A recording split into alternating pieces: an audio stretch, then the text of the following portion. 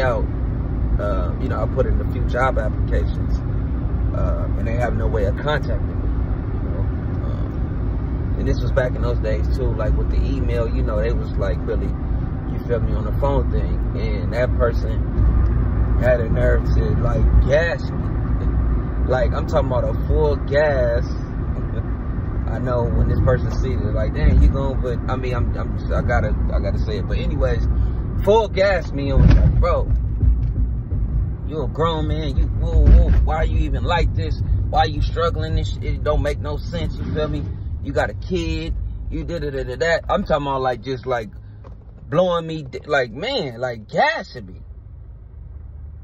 And I'm like, dang, bro, you you you literally just told me that You, this is what you you just told me. Hey, let me know what's going on. You good?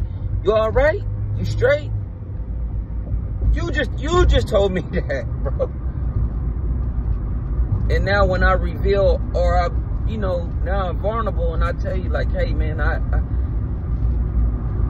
you know, I don't never ask you for anything, but now I, this is something that I, that I need to help me progress. Why are you? You feel me? Not only are you ridiculing me, you know, and like I say, my other half, what my wife was saying was like, bro, don't think that don't get discussed within the village though.